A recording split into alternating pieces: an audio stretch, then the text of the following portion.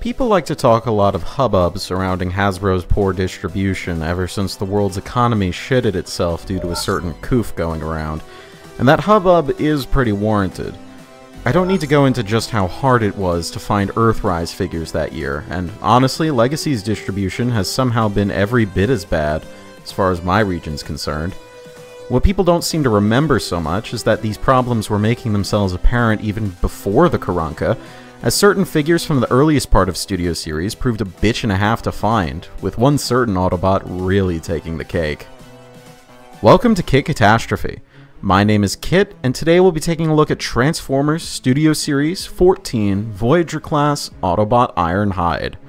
This figure was originally released in 2018 as part of Wave 3 of the Voyager assortment, but was later re-released as part of an Amazon exclusive 5-pack in late 2022, which is the version I will be covering.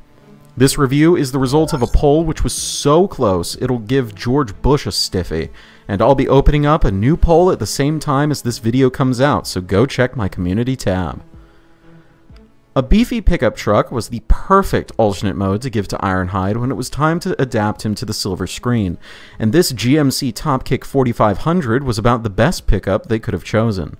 It's a far cry from Ironhide's original Vanette form, suiting his tough guy machismo much better.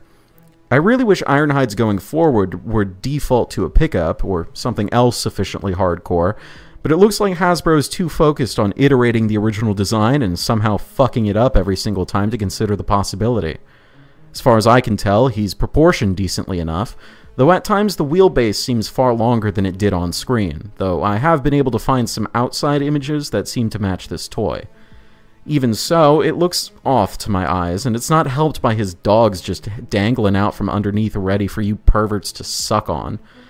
Might as well talk about the bed while we're here, which is completely useless for carrying anything. Though, given how many people around here buy fuck huge trucks as their daily, I doubt many people who bought the real Top Kick are hauling much. That big gap just behind the cab is ugly, but a necessary compromise to let Ironhide's knees bend. Not like Ironhide had any real use for his bed anyway, though on this figure there is space for some haphazard weapon storage. I've always appreciated the large embossed Autobot badge on the tailgate. The front of this pug-nosed some bitch is much more pleasing to look at, with its healthy helping of silver paint and red inked GMC badge on the grille. The orange paint on these indicators here on the fenders chips easily, so it's probably for the best that it was cut from the running lights on the roof for the re-release. Overall, the vehicle mode is pretty decent. It rolls well on the right surfaces, with the only clearance issue to speak of being this bit here in the middle of the chassis that forms part of Ironhide's torso. It's also really solid. None of these locking tabs are going anywhere, though there is a kind of large caveat with that. Going from robot mode to vehicle mode can prove to be a little tricky at times, and these slots on what will be Ironhide's shoulders, which are supposed to lock them into the central spinal column, can get misaligned very easily if you're not paying attention, leading to a small amount of stress. This is really the only issue in an otherwise solid transformation scheme, and it only really matters going in one direction.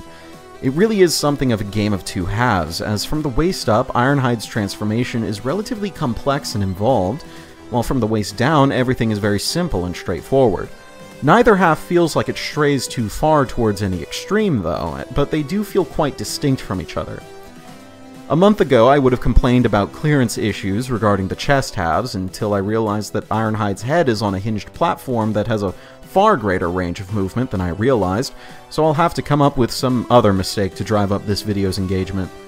I will say the brake discs are a right bitch to flip out since I suspect the hinge itself got coated in paint, but I think the doors wrapping around his torso and locking the roof in place is such a nice design choice that it makes me not care as much about my lost fingernails.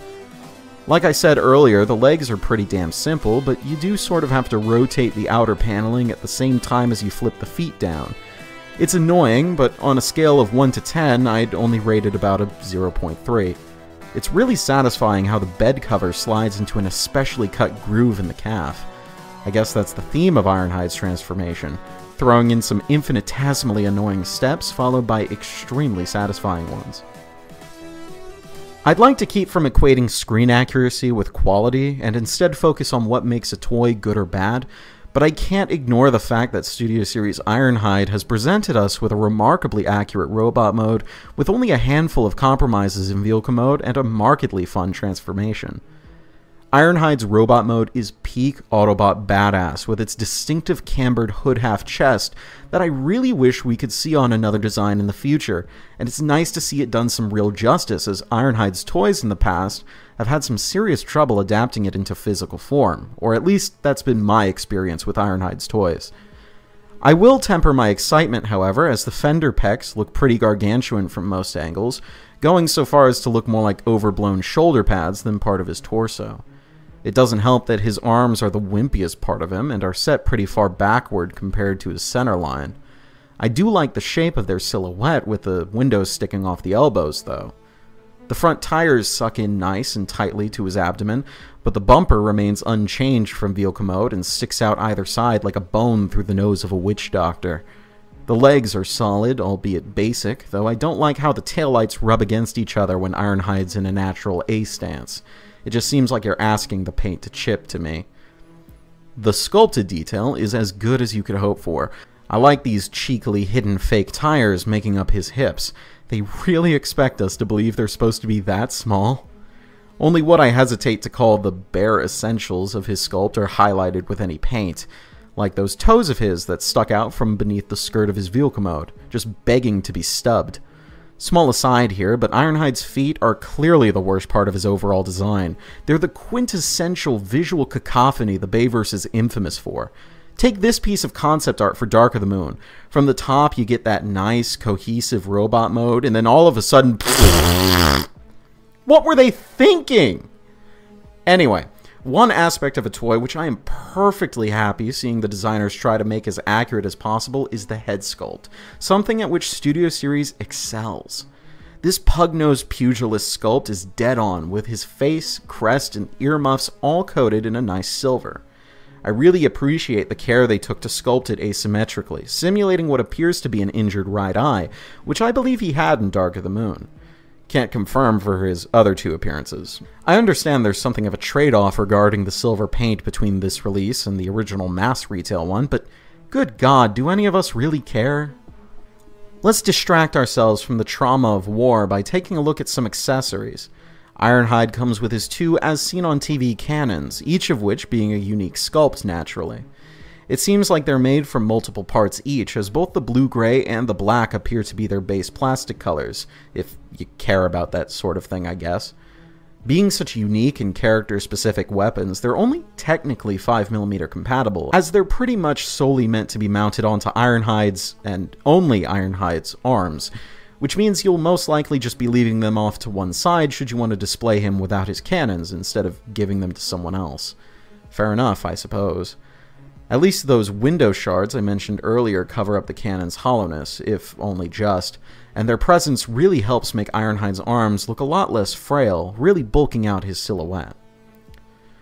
Ironhide comes packed with 21 points of articulation, which sounds like a lot until you start trying to put him into a cool pose. On any other design, these butterfly joints would be considered a godsend, but alas, Ironhide's life preservers really limit their movement. It's like gifting a dog the most delicious piece of dark chocolate ever created. Sure, the gesture is nice until you think of the consequences. His elbows don't even bend more than 90 degrees, so no lifting montage for you. Things aren't much better below the belt, as Ironhide's knees are similarly limited, and the thigh to calf ratio isn't good enough to compensate. It doesn't help that his messy silver clodhoppers stick out so much as well. You can attempt to justify there being an extra point of articulation in each ankle, especially for walking poses, but since it clashes so readily with the vehicle mode, I'd have to respectfully disagree and call you a stupid idiot. So, there's a million dollar question, or however much Ironhide's going on the secondary market, hanging over our heads like the fucking sword of Damocles. With how hard it was to find this toy on its original release, and with how much you have to pay to get its re release, is he worth it? And to that I say, okay, give me a second, let me get ready. Fuck no. Taking a cursory look on eBay shows that even with the re-release, chumps are still asking astronomical prices for them, and even bigger chumps are paying them. I got in on the ground floor when it came to the Amazon 5 pack, and even then it was only worth it to me, because a friend of mine who actually had Ironhide went halvesies with me. I'm still trying to offload my spare ratchet. And even then, the rest of the 5 pack had abysmal quality control, with Bumblebee straight up being untransformable. So, unless you find it acceptable to get gypped by eBay sellers or Hasbro and Amazon themselves, I don't think I can tell you to go for it with good conscience. Still, the more important question for a review is, is the toy good? And to that I say, well, kinda. The truck mode is decent, the robot mode is okay, and the transformation is some pretty good fun. He rounds out and complements the rest of the 2007 cast pretty nicely, and he definitely felt the best out of the reissue 5-pack, that's for damn sure. I'd say lovely would be a pretty fair assessment, wouldn't you agree? Ah, who gives a shit? You know who does give a shit? The fantastic users on my Discord server who have graciously submitted some requests for future reviews that all of you get to vote on.